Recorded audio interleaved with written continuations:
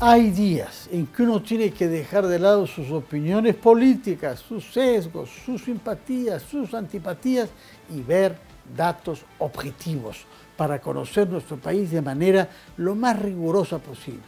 Uno de esos días es hoy, porque hemos recibido en Ampliación de Noticias al jefe del Instituto Nacional de Estadística e Informática, que ha venido con un informe que no nos gusta, pero que debemos leerlo con atención, el informe sobre la pobreza en el Perú, y los resultados no son buenos.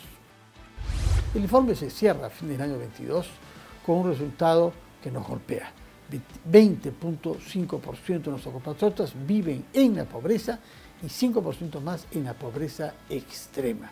Quiere decir en el primer caso que no alcanzan a tener ingresos equivalentes a 420 soles al mes por persona y en el segundo caso, en la pobreza extrema, 5% a 220. Esto naturalmente ha sido favorecido por una parte por la inflación, que ha elevado los precios, pero por otra, a la falta de gestión pública, a la falta de gestión del gobierno para llevar servicios a los ciudadanos y para favorecer la creación de empleo. Por supuesto que la pobreza no solo se resuelve con crecimiento económico, pero sin crecimiento económico no hay manera de resolverla. Así nos explicó el señor, repito, Cargua Vilca. Después de lo cual hablamos sobre un problema grave, que es el problema de los transportes.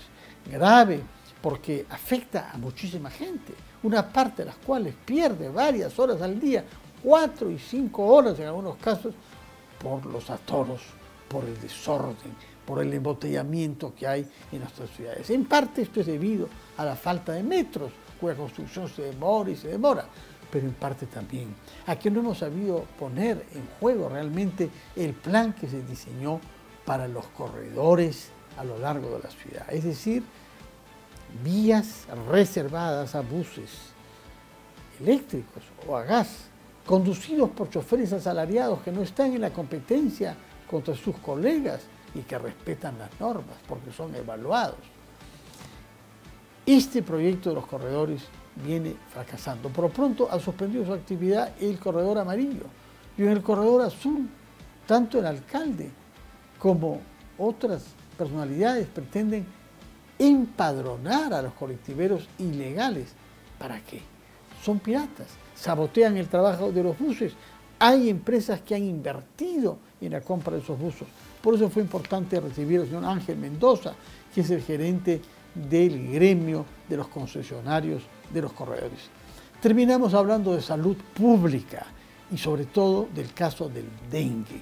Estamos ante la crisis de dengue más grave de la historia, al menos reciente, de nuestro país. Más de 70 muertos ya por esta enfermedad producida por un mosquito el doctor Oscar Ugarte, director de la Escuela Nacional de Salud Pública y ex ministro de Salud, vino para alertarnos y para pedir que colaboremos en la prevención. Prevención como evitar que hayan estanques, depósitos, charcos de agua limpia que no estén cubiertos, porque es ahí a donde va el mosquito que genera esta infección y ahí donde deja sus huevos. Pero también para que colaboremos con la fumigación que va a permitir que ahí donde ha habido mosquitos o huevos dejen de haber. En caso contrario, podemos enfrentar una crisis generalizada en Lima y en 20 regiones de nuestro país de infecciones de dengue.